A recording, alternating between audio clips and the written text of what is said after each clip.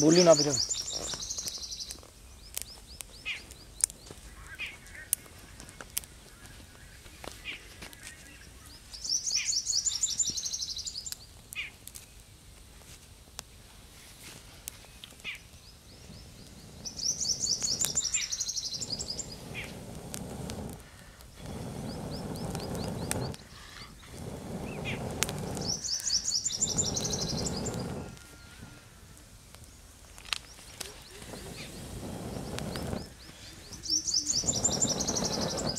अब घेर मोटा थोड़ा सा।